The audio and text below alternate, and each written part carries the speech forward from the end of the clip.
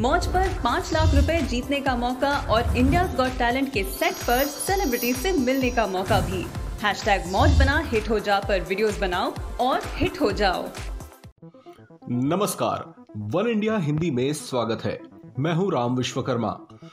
Cricket को जिस तरह से अनसर्टेनिटी या अनिश्चितताओं का खेल कहा जाता है, ठीक उसी तरह से अनिश्चितताओं से घिरे हैं पाकिस्तानी प्रधानमंत्री इमरान खान। क्रिकेट जगत में खूब धमाल मचा चुके इमरान खान। जब पाकिस्तान की राजनीतिक पिच पर उतरे थे तो इस भरोसे के साथ उतरे थे कि यहाँ सरकार की पारी पूरी होने तक नॉट आउट रहेंगे।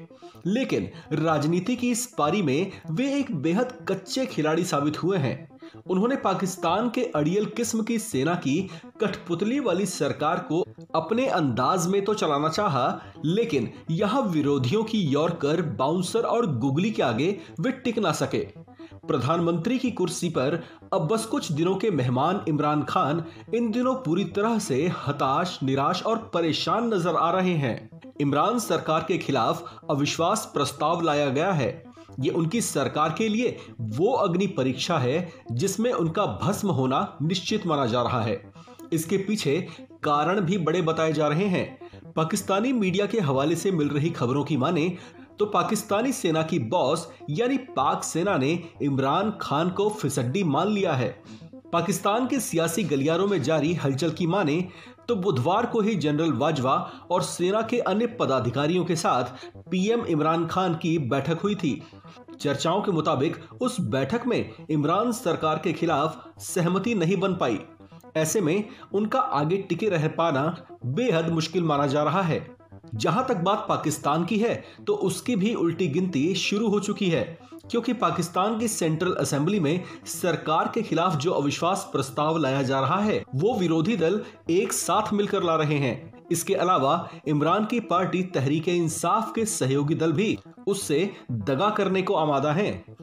उसके बागी सांसद पहले से ही अंडरग्राउंड हैं। इस तरह से मेजोरिटी साबित करने की परीक्षा में भागते इमरान को लंगोट भी नसीब नहीं होगी। यानी उनके पास अपनी लाज बचा पाने लायक भी समर्थन हासिल नहीं हो पाएगा।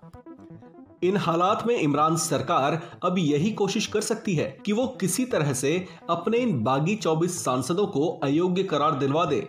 वहाँ के नियमों के मुताबिक, अगर किसी राजनीतिक दल के चुने गए विधायक अपनी ही सरकार के खिलाफ अविश्वास प्रस्ताव में वोट करते हैं तो उन्हें अयोग्य करार दिया जा सकता है। पाकिस्तान तहरीक इंसाफ पार्टी के पास फ़िलहाल 155 सांसद हैं, जबकि सत्ता में बने रहने के लिए उसे कम से कम एक सौ बहत्तर वोटों की ज़रूरत होगी। ऐसे में उसके अपने सांसदों के बागी तेवर ने उसकी सत्ता पर सवाल खड़े कर दिए हैं। कि वो 25 मार्च को बच पाएगी या अपना कार्यकाल पूरा करने से पहले ही गिर जाएगी। अब यहाँ सवाल ये उठता है कि आखिर इमरान खान की सरकार के सामने इस तरह का संकट खड़ा कैसे हुआ? दरअसल, पाकिस्तान में ये बात अप्रत्यक्ष तौर से घोषित है कि वहाँ की सत्ता सेना की कठपुतली के तौर पर काम करती है। ऐसे में इस बात की चर्चा पाकिस्तान के सियासी गलियारों में खूब है। कि जब सेना इमरान की नीतियों की वजह से नाराज़ रहने लगी तो सेना के मूड को भापते हुए खुद इमरान के सहयोगियों ने ही उससे दूरी बनानी शुरू कर दी। और सेना के मिजाज को परखते हुए विरोधी दलों ने इमरान के लिए मेजोरिटी साबित करने की चुनौती रख दी। शॉर्टकट में कहें तो पाकिस्तान में सरकार चलाने के लिए इमरान वो शहूर ही पैदा नहीं कर पाए, जिसके ज़रिए वहाँ की सेना को खुश रख पाते और सत्ता में आगे भी बने रहते।